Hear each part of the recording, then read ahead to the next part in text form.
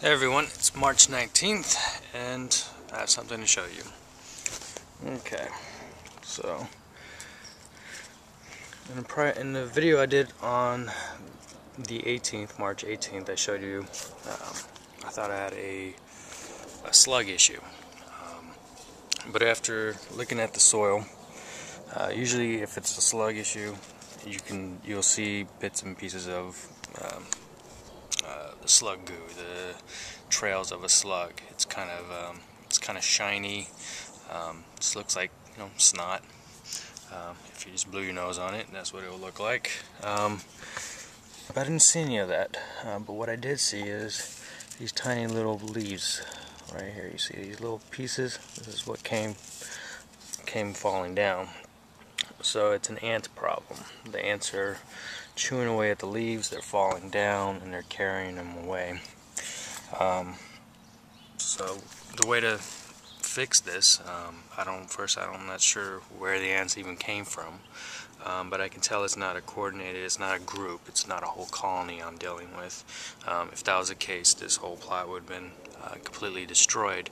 Um, so far I can tell they're focusing their energy, their time on eating away at the squash, which is a has a lot of water, has a lot of nutrients, and uh, it also has a lot of glucose inside this stem. Um, the rest of the plants seem pretty fairly unscathed. Um, I do see a couple of nibbles here and there. Um, right here is a one on a bell pepper. It's a tiny little hole. Um, it's not too bad, uh, but a lot of them pretty much have been untouched, along with the artichokes has, have been untouched. Um, how to rectify it, uh, usually you just remove all the plants, you completely soak it and you uh, basically try to drown out the colony.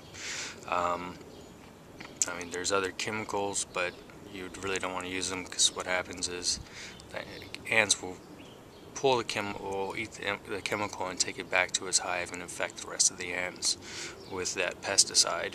Now the pesticide could be, or the colony could be right below your vegetables and you don't want it to carry and uh, mass produce that pesticide and get into the vegetables. Um, the other one is just, you know, flooding it, removing all the plants. um, but right now I'm just trying to see where they're going. You can just follow pieces of leaves and uh, try to figure out where the colony is. Um, I would assume it's somewhere in this section here in the corner. Um, yeah, they're doing a pretty good job of destroying everything. oh, fuckers. Um, now you mostly run into ant problems uh, during severe weather, um, cold snaps, extreme heat, um, basic uh, survival instincts of any animal is to, you know, go hunt, uh, store food. Uh, so right now I think that's what they're doing. Um, during regular seasons, once they finally fill their colonies, uh, you get less ants. Um, but if it does become a larger issue, um, I will have to remove everything and remove all the soil and just flood it. Um, so this one's not too bad. This is actually some wind damage. It's been kind of windy. There's a little ant right there. A little sucker. So, that's what's doing it. Kind of a bummer. Didn't expect that. Never had an ant problem. Um, for as long as I've been gardening, I've always had slug problems, aphid problems.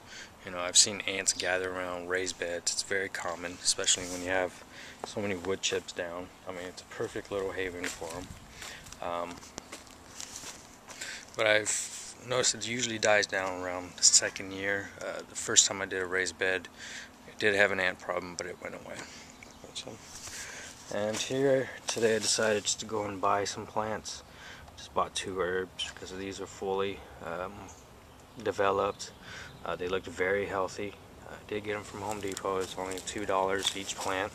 So this is a, um, well this is German Thai, uh, thyme and this is oregano.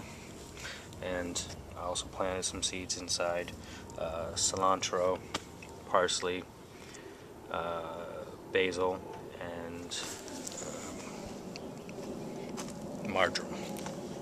Hope it was marjoram, might be surprised.